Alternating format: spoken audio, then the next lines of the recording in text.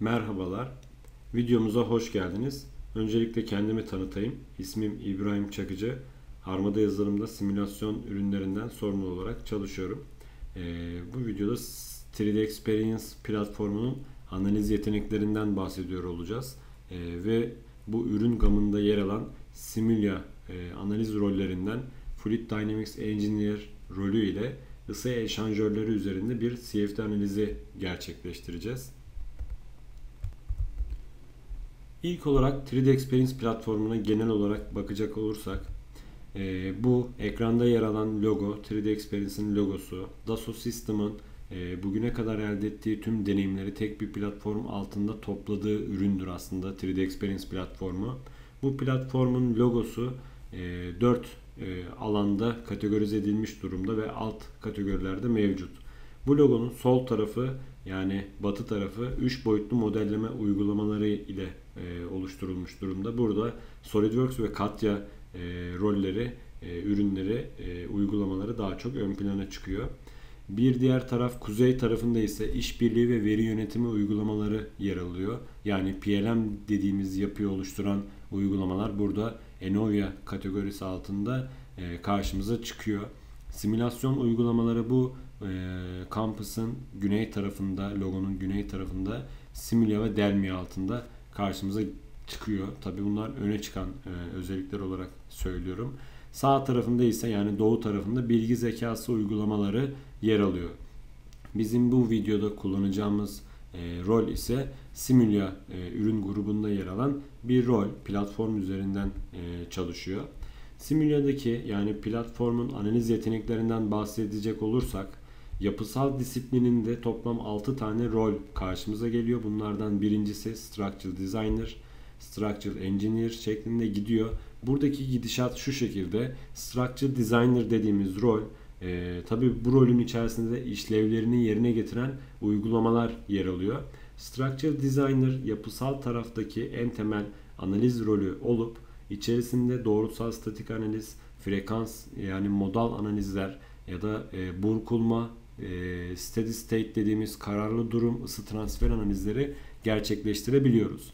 Bir üst paketi olan Structural Engineer rolünde kapsam biraz daha genişliyor. Structural Designer'daki tüm analiz yeteneklerinin üzerine e, işte modal e, dinamik analizler, harmonik analizler, hexahedral mesh gibi özellikler dahil oluyor. Bu şekilde kapsam artarak Structural Performance Engineer vesaire gidiyor. E, toplam 6 tane ürünün en kapsamlısı Durability and Mechanics Engineer dediğimiz rol oluyor. Burada biz Abacus teknolojisi kullanıyoruz. E, Dassault System'ın Legacy tarafında kullandığı Abacus ürünündeki teknoloji bu platformda kullanılıyor. Çözücüler de bu şekilde Abacus e, solverları implicit, explicit analizler gerçekleştirilebiliyor. Bir diğer disiplin hesaplamalı akışkanlar dinamiği alanında ise Fluid Dynamics Engineer rolü burada karşımıza geliyor. Plastik enjeksiyon e, disiplininde Plastics Injection Engineer rolü karşımıza geliyor. Elektromanyetik alanda ise elektromanyetik engineer rolü ile karşılaşıyoruz. Burada da yine Legacy tarafında Simulyan'ın e, CST Studio dediğimiz yazılımın e, teknolojisi kullanılıyor. Fluid Dynamics Engineer rolünün özelliklerine bakacak olursak genel anlamda iç ve dış akış senaryolarını oluşturabiliyoruz. Laminer ve türbülans akış, kararlı durum ve zamana bağlı analizler yapılabiliyor. Isı transfer analizleri, çark gibi, impaler gibi, e, fan gibi dönen bileşenleri yüksek doğruluk oranlarında e, modelleyebiliyoruz, analiz edebiliyoruz. Sıkıştırılamaz ya da sıkıştırılabilir akış türlerinde e, çözebiliriz. Newtonsal ya da Newtonsal olmayan e, dediğimiz akışları, e, akış fiziklerini çözebiliriz. Burada non-Newtonian tarafında e, geniş çaplı sunulan e, modeller, viskozite modelleri yer alıyor. Serbest yüzey modelleme, Joule ısıtma dediğimiz elektronik soğutma tarafında kullanılabilen e, kullanışlı özellikler bize e, sunmuş durumda bu ürün. Öne çıkan özelliklerden birisi aslında Joule ısıtma. E, konfor parametreleri de bunlardan e, biri. E, partikül modelleme gerçekleştirilebiliyor. Ve benim de önemsediğim e, Daso'nun bize sunduğu en önemli özelliklerden birisi de asistan özelliği. Yani kullanıcıyı yönlendiren bir tarafı var. Bu diğer analiz rollerinde de mevcut aslında. e, burada da karşımıza çıkıyor. Bu hata e, oranlarını azaltmak ve e, burada harcanılan e, computational cost dediğimiz hesaplama maliyetlerini azaltma tarafında kolaylık sağlayan ve bizi yönlendiren, analiz senaryo oluşturma taraflarında bizi yönlendiren e, asistan özelliği karşımıza geliyor. Bir diğer öne çıkan özelliklerden birisi de türbülans modelleri. Burada farklı case ve senaryolar için kullanabileceğimiz türbülans modelleri yer alıyor ve bu modellere e, denklem takımlarına ya da parametrelerine doğrudan müdahale edebiliyoruz. Benim de önemsediğim e, bir diğer özellik ise bulut hesaplama. E, bu e, şöyle düşünebilirsiniz. Mesela analiz e, koşturmak için HPC cihaz ya da e, al, HPC bir bilgisayar cihaz almışsınızdır. Buraya bir yatırım yapılmış olabilir. E, burada mesela bir analizi iki günde çözdürebilirsiniz. Örneğin 40 çekirdekli bir makine e, burada analiz örneğin bir gün sürüyor ya da iki gün sürüyor. Bu yüksekteki performansta e, olan bir bilgisayarı bu kadar süre e, kullanamaz hale geliyorsunuz. E, bu da aslında bir maliyet kaybıdır bir e, farklı bir açıdan baktığımızda. Ama 3D Experience platformundaki analiz özelliklerinde, analiz rollerinde e, biz oluşturduğumuz bir senaryoyu doğrudan tek tıkla bulut ortamında hesaplattırabiliyoruz. Burada 144 çekirdeğe kadar e, çıkabiliyoruz. E, bu da bizim çözümleme sürelerimizi oldukça kısaltıyor. Geometri sadeleştirme dediğimiz bir uygulama da yer alıyor içerisinde. Bu rolün içerisinde yer alıyor. Bu uygulama ne işe yarıyor? Biliyorsunuz e, sonlu hacim olsun, sonlu eleman olsun farklı e, analiz e, sayısal yöntemlerde de biz modeli hazırlarken matematiksel ve e, sayısal modeli, nümerik modeli hazırlarken e, CAD geometrisinde basitleştirmeler yapmamız gerekiyor. Yaklaşımlar geliştirmemiz gerekiyor. Bunun için e, oldukça uzun zamanlar harcayabiliyoruz. Ve DASO burada bizim bu e, harcanan süreyi azaltma noktasında bir uygulama sunmuş ve bu uygulama ile biz kolayca geometrilerimizi basitleştirebiliyoruz ve sadeleştirebiliyoruz. Fluid Dynamics Engineer rolünün içerisinde yer alan uygulamaların tamamı bu şekilde. Burada bizim analizi geometrisini basitleştirmekten tutun görsellerini e, yani analiz sonuçlarını görselleştirmesine kadar e, tüm e, işlemleri yerine getirebileceğimiz uygulamalar bunlar. Hepsi bu rol içerisinde bize geliyor. Ama bir takım e, özellikle yani bazı uygulamalar öne çıkıyor özellikleri nedeniyle. Bunlardan birincisi Simulation Model Preparation dediğimiz e, uygulama olabilir. Bu uygulama ile biz mesh ve simülasyon için geometri e, hazırlıyoruz. E, bir diğeri ise model e, Fluid Model Creation dediğimiz uygulamamız. Burada da Finite Volume dediğimiz sonlu hacimler e, yöntemine dayanarak bir mesh oluşturma, sınır tabakalarını tanımlama gibi işlemleri yapabiliyoruz. Bir diğeri de Fluid Scenario Creation dediğimiz e, işte akışkan akışı ve konjüge ısı transferi gibi senaryoları oluşturmada biz bu uygulamayı kullanıyor olacağız. Physics e, Results Explorer dediğimiz uygulama ile de post processing aşamalarını gerçekleştiriyoruz. Yani sonuçların e, görselleştirilmesi ve yorumlanması kısmında. Bir diğeri de Parametric Design Study dediğimiz uygulama.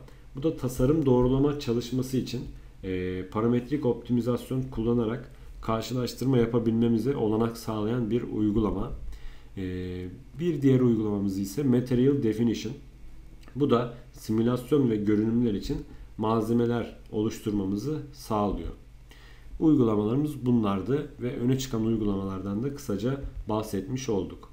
Bu videoda biz bir e, ısı eşanjörünün CFD analizini gerçekleştireceğiz. CFD yöntemini kullanarak e, tipik bir gövde borulu ısı eşanjörünün aslında verimliliğini biz CFD metodu ile irdeleyeceğiz. Bunu da 3D Experience platformunun e, simülya analiz e, rollerinden Fluid Dynamics Engineer rolünü kullanarak e, biz burada bu işlemleri yapacağız. CFD modelini oluşturacağız ve denklem takımlarını çözdüreceğiz. Analiz sonuçlarında ise ısı eşanjörüne giren akışkanın giriş ve çıkış sıcaklık farklarına bakacağız. Ayrıca eşanjör içerisinde gerçekleşen akıştaki durgunluk noktalarını irdeleyeceğiz. Yani stagnation, e, stagnation point dediğimiz durgunluk noktaları yani hızın sıfır ve basıncın yüksek olduğu yerler.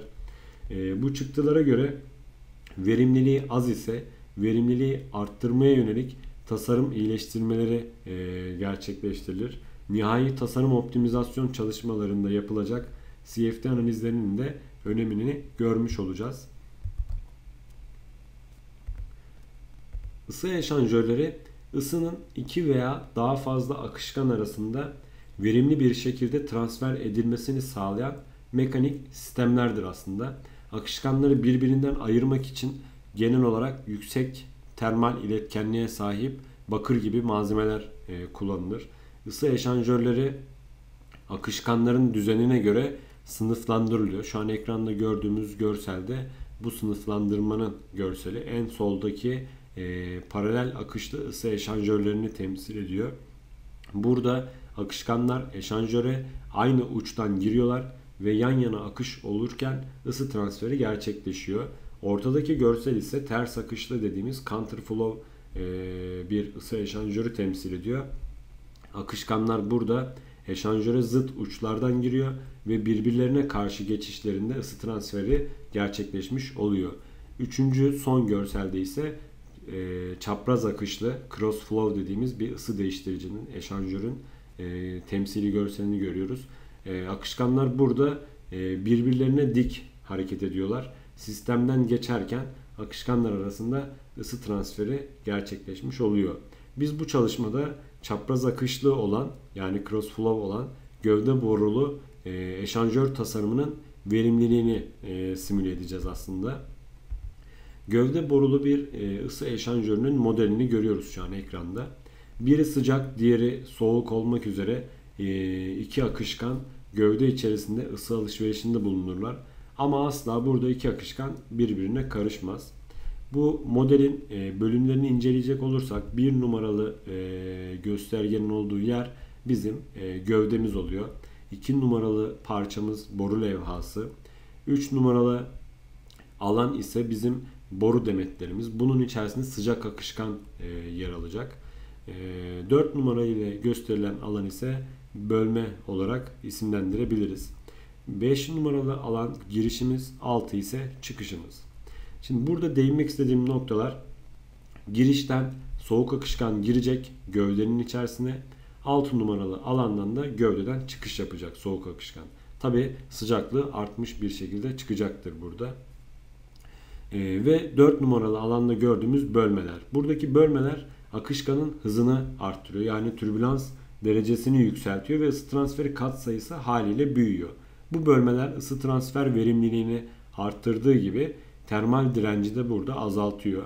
Biz bu analizde e, boru demetindeki akışı yani sıcak akışkanı modellemeyeceğiz. Onun yerine sabit bir yüzey sıcaklığı tanımlayacağız. Yani boru demetinin e, dış yüzeylerini seçerek e, buraya sabit bir e, yüzey sıcaklığı tanımlayacağız. Yani boru demetinin içindeki sıcak akışkanı doğrudan sabit bir sıcaklıkla tanımlayarak analizi basitleştirme yoluna gideceğiz.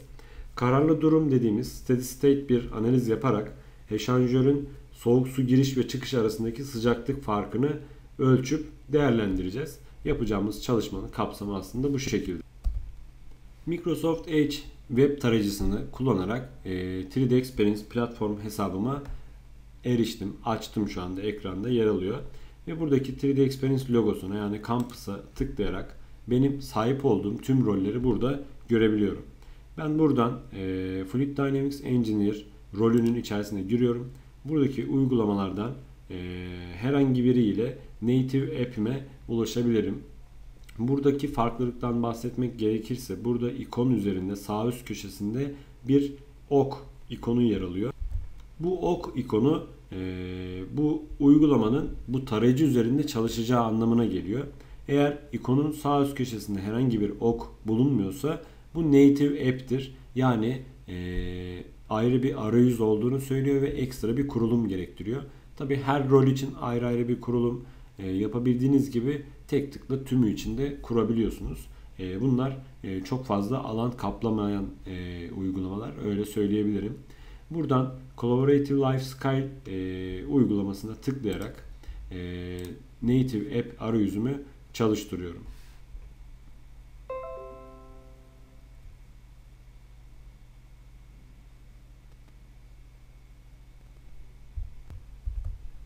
Native App arayüzüm açıldı. Buradaki e, pencereleri ve sekmeleri kapatıyorum.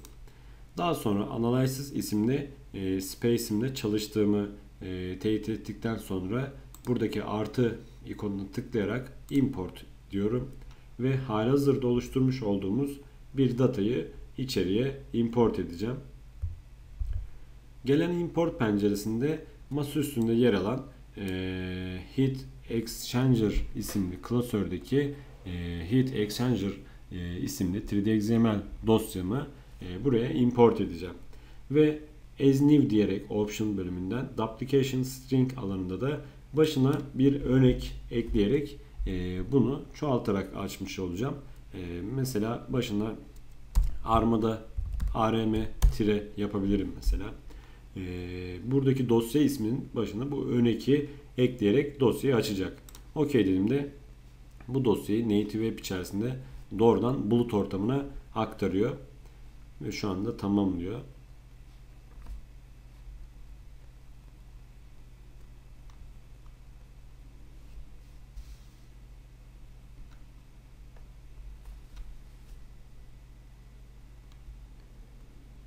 Dosya aktarım işi tamamlandı. E, toplamda 49 tane objenin import edildiğini söylüyor. Okey dedim. Şu anda mesela ekranda baktığımızda 3D Experience platformunda Enovia e, kategorisinde yer alan Product Finder isimli e, uygulamanın e, ekranda aktif olduğunu gösteriyor bize. Bu Product Finder'da sunumda gördüğümüz gibi videonun başında Fluid Dynamics Engine'in rolünün içerisinde geliyor zaten. E, buradan sağ tıklayarak montaj adına Open diyerek ben bunu e, yine Fluid Dynamics Engine'in rolünün içerisinde gelen Assembly Design isimli bir uygulama ile açıyorum.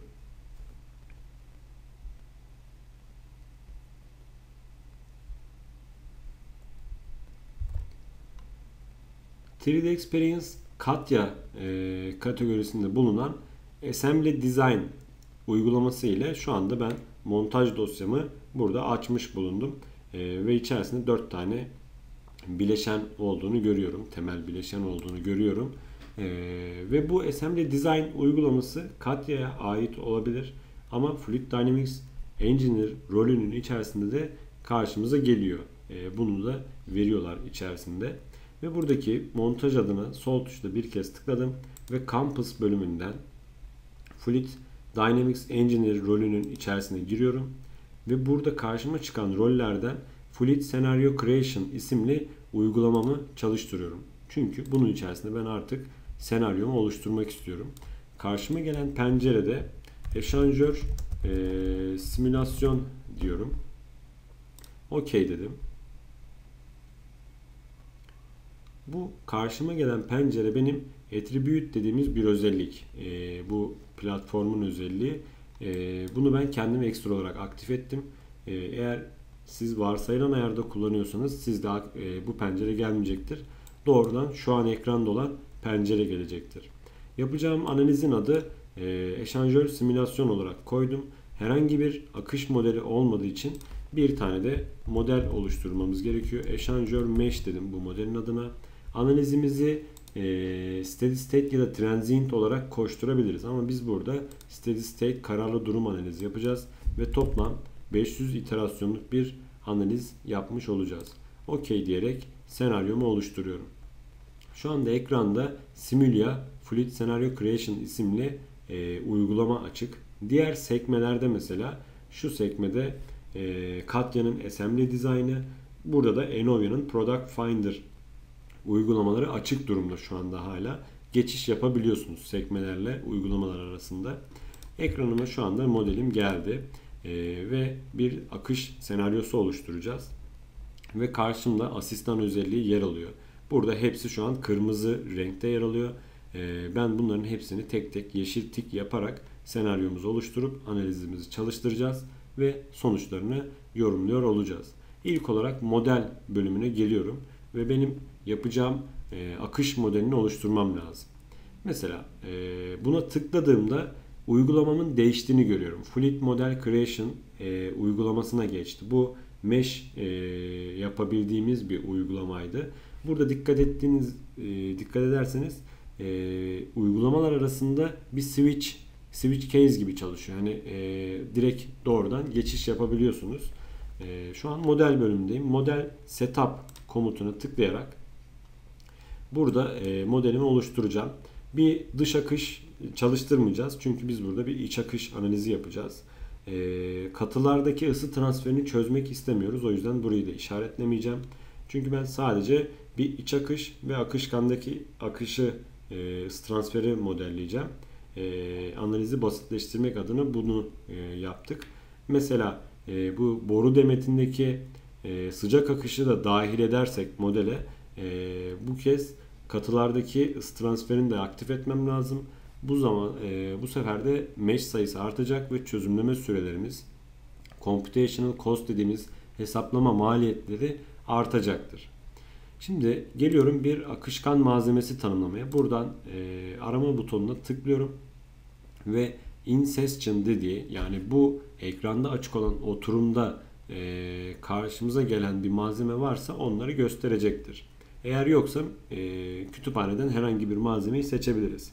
Ama benim içeriye import ettiğim 3D XML dosyasında tanımlı bir malzeme vardı. O da su malzemesi, water. Simulation e, section'ından seçerek buradan OK diyerek bu malzemeyi tanımlıyorum ben buraya. Daha sonra e, region bölümünden e, akışa nereyi dahil edeceğimizi belirteceğim. Geliyorum buradaki borunun iç yüzeyini seçerek bir küp olan glif e, karşımıza geliyor. Bu glif e, yüzeyin iç tarafındaysa akışın iç tarafta olacağını belirtmiş oluyoruz. Yani bir iç akış olduğunu belirtiyoruz. Bunu böyle yaparsam, yönünü ters çevirirsem glifin e, akışın dışarıdan olacağını söylüyoruz mesela. İç yaparak glif şu anda seçtiğim yüzeyin içinde kalacak şekilde ayarladım ve bunun bir iç akış olduğunu bu şekilde belirttiğimizi e, söyleyebilirim. Daha sonra kapalı bir e, hacim oluşturmamız gerektiği için yani watertight dediğimiz sızdırmaz bir e, hacimsel model oluşturmamız gerektiği için Openings bölümünde yer alan özelliği kullanarak buradaki açıklıkları kapatmamız gerekiyor. E, artıya tıklayarak geliyorum. Buradaki dairesel kenarı seçerek buradaki açıklığı tanıtıyorum. Ve is, ismine de inlet ya da giriş açıklığı diyebiliriz.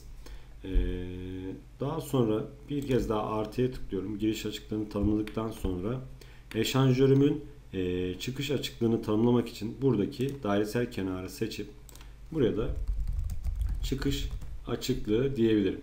Ve OK diyerek kapatıyorum. Daha sonra modelimizi tanıttıktan sonra e, yine model sekmesinde e, fluid domain'e geliyorum. Ve burada tanımlamış olduğum region, openings, partlar hepsi e, burada karşıma geliyor. Ve surface selection bölümünde ben e, daha sonra yapacağım sınır koşulu tanımlamalarında bana kolaylık olması amacıyla bir yüzey seti oluşturacağım. Bu yüzey seti için içerideki boruların dış yüzeylerini seçimini yapacağım. Bu sebeple bu gövdeyi e, sağ tıklayarak analiz ağacından gizliyorum. Ve Surface Selection tarafında artıya tıklayarak e, seçimlerimi yapıyorum. Buradaki boruların dış yüzeylerini e, seçiyorum. Hiçbirini e, atlamadan şu şekilde kontrol edeceğim. Buradaki yüzeyleri seçiyorum. Daha sonra sınır koşulu tanımlamalarını biliyorsunuz biz sıcak akışkanı modele dahil etmedik. Onu da burada tanımlamasını yapacağız. Şu anda e, tüm dış yüzeyleri seçilmiş durumda boruların.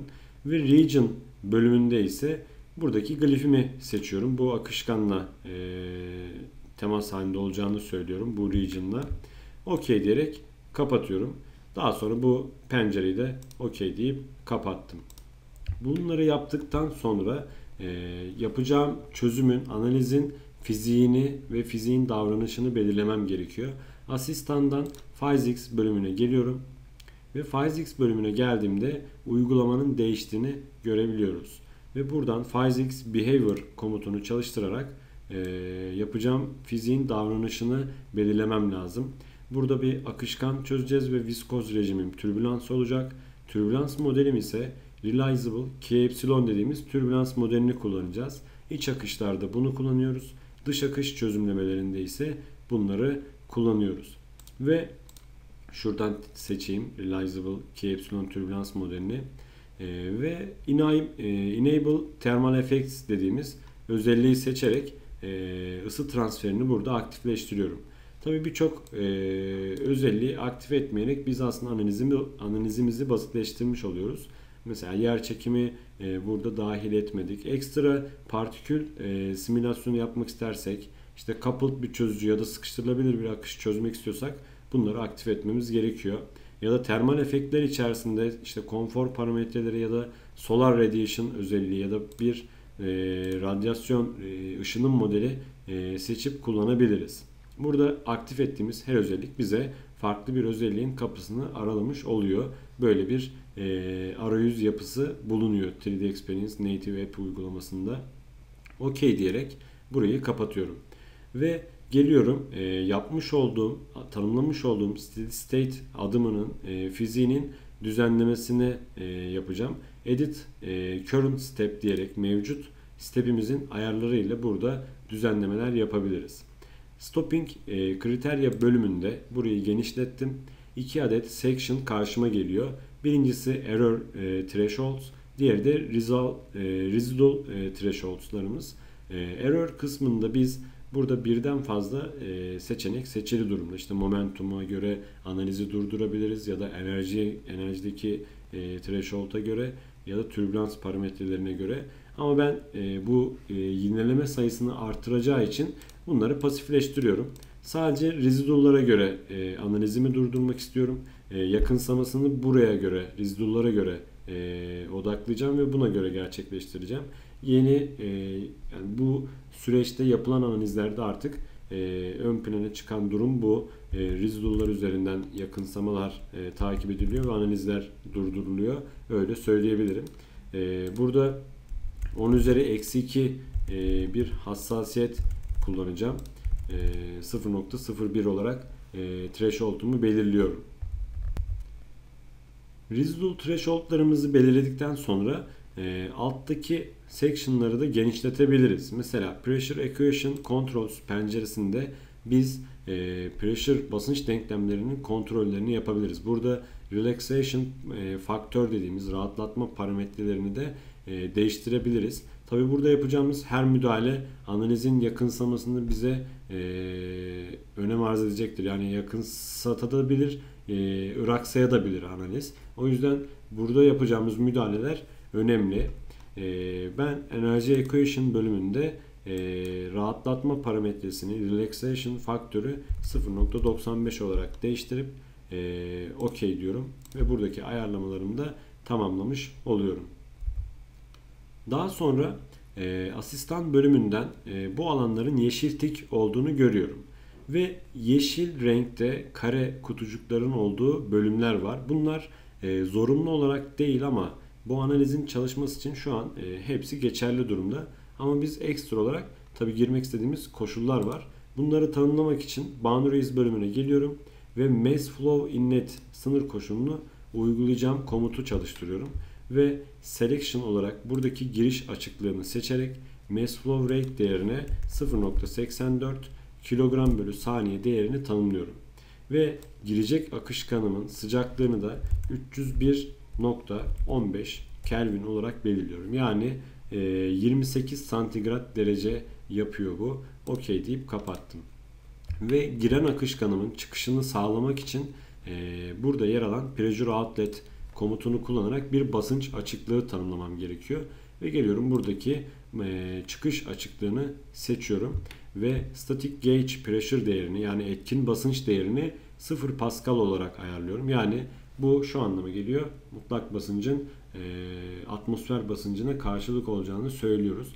Yani 101.325 Pascal e, atmosfer basıncına bu akışkanın suyun atılacağını söylemiş oluyoruz. Etkin basıncı 0 Pascal yaparak. OK diyerek bunu da kapattım. Daha sonra e, içteki sıcak akışkanın yani boru demetinde akan sıcak akışkanın tanımlaması için Buradaki wall sınır koşulunu kullanacağım. Çünkü ben içerideki sıcak akışkanı modele dahil etmedim. Bir e, yaklaşım geliştirerek e, bu boru demetinin dış yüzeylerini seçerek buraya sabit sıcak su sıcaklığını tanımlayacağız.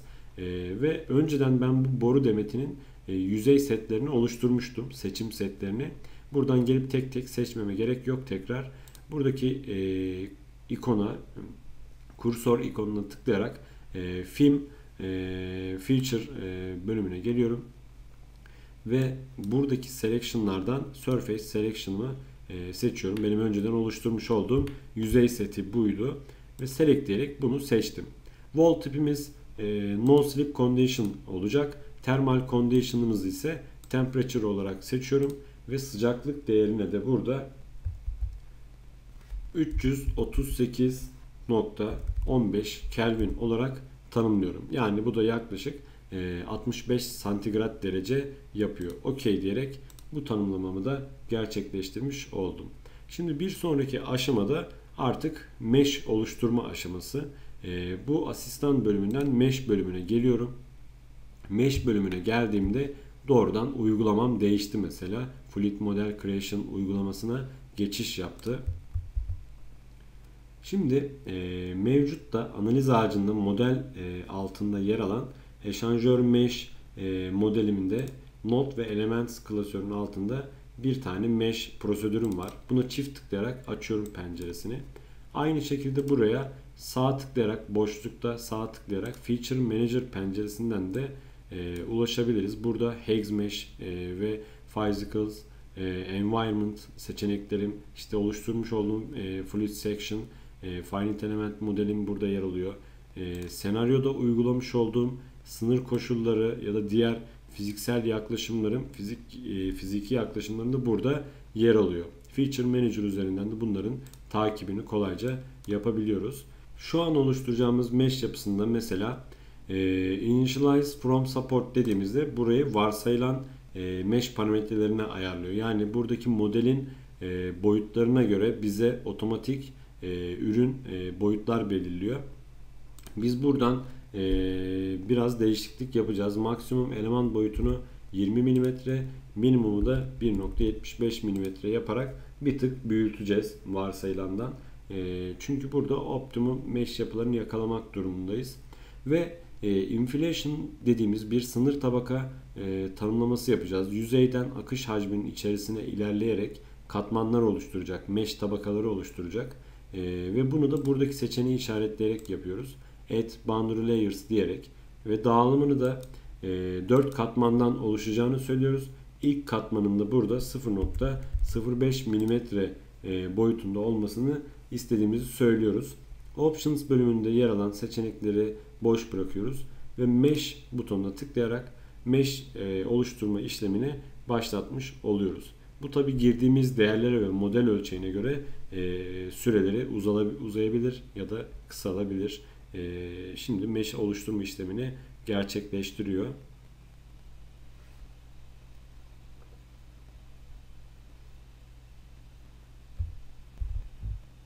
Mesh oluşturma işlemi tamamlandı. Ee, buradan OK'ye tıklayarak bu pencereyi kapatıyorum.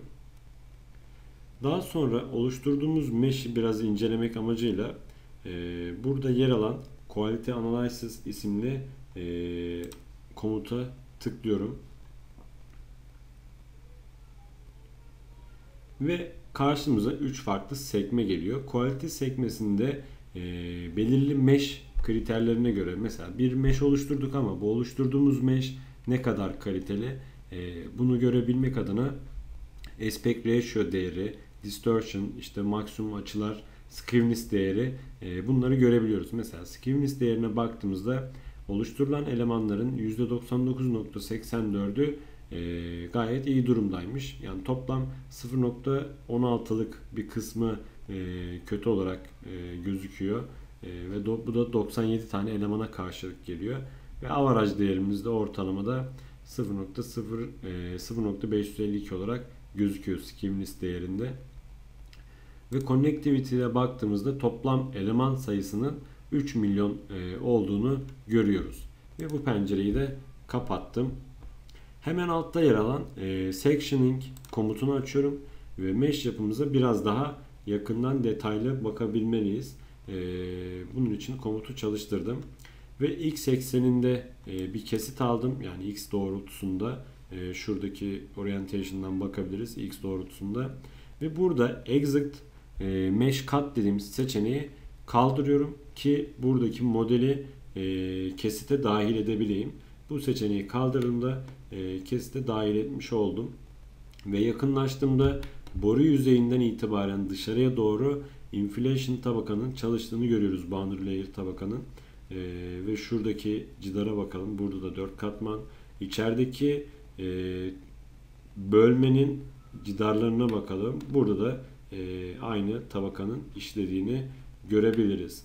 Mesela sağ tıkladım boşlukta Visibility Manager'dan e, FA modeli gizledim. Pardon bunu açayım. E, geometrileri gizledim. Ve Analysis Case sembollerini burada onları da gizleyeyim. E, doğrudan sadece mesh yapısını görebiliriz burada. E, şu şekilde incelediğimizde e, mesh yapısı bu şekilde. Toplam 3 milyon burada eleman söz konusu. Tekrar modellerimizi açtım. Buraya close diyerek kesitimi kapatıyorum. E, ve Visibility Manager penceresinde kapattım. Tüm bu işlemlerden sonra e, Output Request bölümüne geliyorum. Şimdi biz analizimizi yapacağız ama analiz çıktısı olarak nelere bakmak istiyoruz?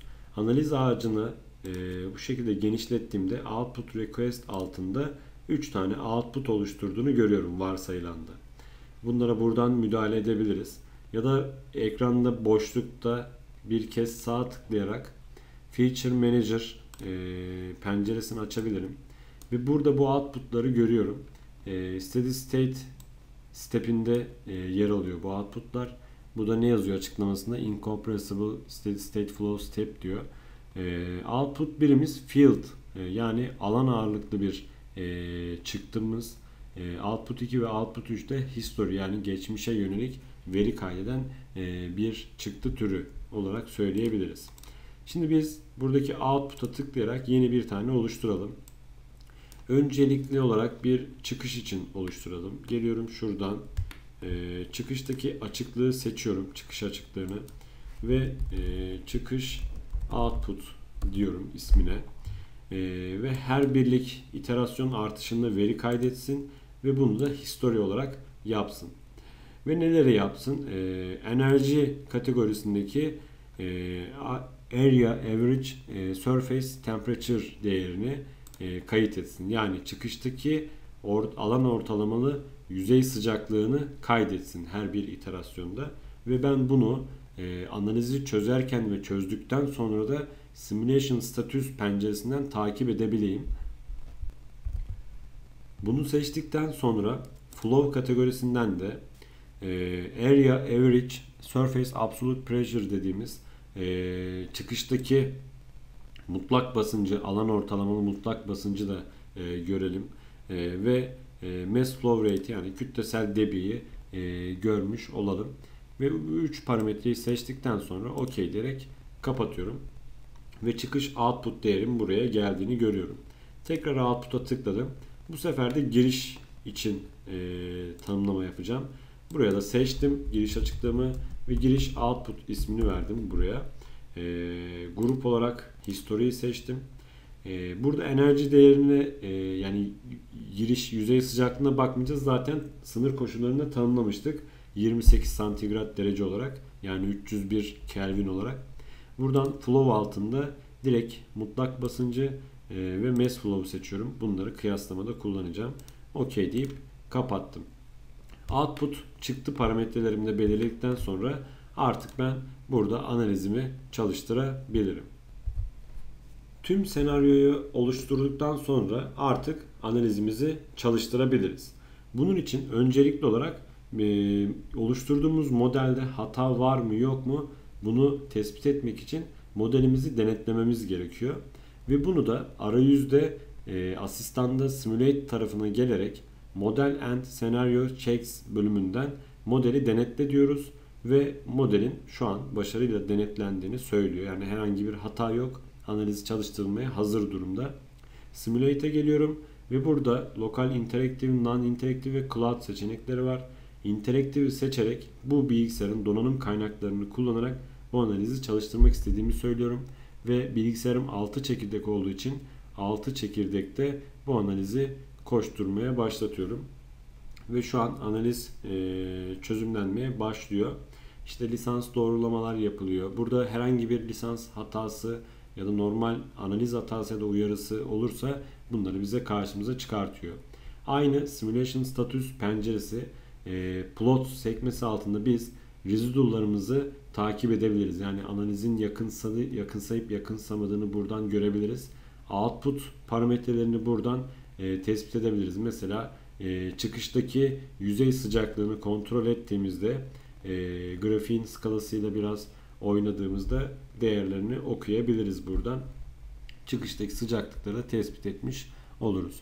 Analiz tabi biraz uzun sürüyor. O yüzden doğrudan sonuçlarına e, geçeceğiz. Simülasyon durum grafiğini incelediğimizde, daha doğrusu durum grafiklerini incelediğimizde bunu nereden yapıyorduk? Simulation status penceresi üzerinden yapıyoruz. Bu pencere analiz devam ederken de e, takip edebiliyoruz. Analiz bittikten sonra da buradan takip edebiliyoruz. Sonuçları görebiliyoruz.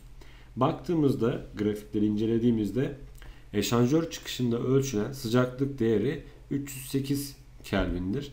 Yaklaşık 7 Kelvin değerinde bir sıcaklık artışı yaşanmıştır burada. Eşanjör giriş ve çıkışında 0.84 kilogram bölü saniyelik bir e, mass flow kütlesel debi ölçülmüştür. Bu ne anlama geliyor? E, kütlenin korunumuna e, bakacak olursak giren kütleyle çıkan kütlenin eşit olması durumu söz konusu bir e, finite, finite volümde. E, o yüzden bu da bizim analizimizin doğruluğu açısından fikir vermiş oluyor. Giren kütle ile çıkan kütle bizim çözdüğümüz analizde eşit durumda. Eşanjör girişinde 1.02 10 üzeri 5 paskallık bir basınç, çıkışında ise 1.01 10 üzeri 5 paskallık bir basınç e, ölçülmüş durumda. Basınç değerleri oldukça yakın e, gözüküyor. Grafik oluşturma aşamaları nasıl gerçekleştiriliyor 3D Experience platformunda?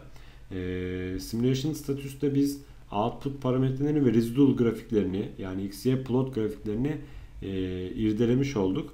Peki grafikler nasıl oluşturuluyor? Ona bakalım. Grafikler için e, results bölümüne geliyoruz asistandan e, ve ilk olarak plot section e, açıyoruz. Şu anda ekranda görmüş olduğumuz aslında bir kontur grafiği e, ve y doğrultusunda bir kesit alarak e, ilk grafimizi inceleyebiliriz mesela içerideki. E, bu şu anda gauge pressure e, grafiğidir. Yani bir basınç dağılımı grafiği ve ben buradan grafiği değiştirebilirim. Temperature yani sıcaklık dağılımına da e, bakabiliriz. E, buna bakabildiğimiz gibi ekstra olarak içerideki akım çizgilerini de görüntüleyebiliriz. Mesela streamline'ı seçerek e, buradan düzenleyebiliriz grafiği. E, seed dediğimiz noktalar yani petline'ları oluşturacağımız 10 noktayı belirterek OK diyorum ve içerideki eşanjör içindeki yapıyı görüyoruz akım dağılımını ve oynat dediğimizde de bu e, çizgilerin yani akışın borular etrafında e, döndüğünü görebiliyoruz. Biz bu arayüzde e, streamline'ları ya da diğer grafikleri oynatabilir e, ve animasyon sonuçlarını kaydedebiliriz. Ve basınç dağılımı grafiğine e, bakacak olursak burada e, ekranda kesit alınmış bir kontur basınç dağılımı grafiğinde e, basınç aralığı çok küçük. E, basınç e, ısı eşanjörü içerisinde çok fazla değişim göstermiyor.